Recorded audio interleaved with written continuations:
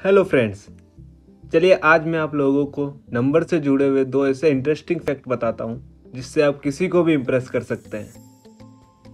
Fact number one जब आप English में काउंटिंग यानी गिनती को लिखना शुरू करोगे, मेरी बात ध्यान से सुनिएगा आप, तब वन बिलियन की स्पेलिंग से पहले आप बी लेटर को किसी भी नंबर की स्पेलिंग में यूज़ नहीं कर पाओगे।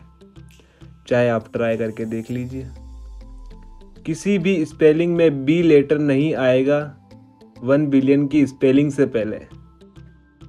फैक्ट नंबर टू 2520 यानी 2520 एक लोता ऐसा सबसे छोटा नंबर है, जो कि एक से लेकर दस तक सभी नंबरों से कंप्लीट डिवाइडेड हो जाएगा।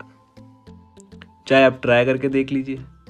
2520 को one two three four, five, six, seven, eight, nine, ten. किसी भी नंबर से डिवाइड करो, वे कम्प्लीटली डिवाइड हो जाएगा। एक भी डिसम्बल नंबर नहीं आएगा।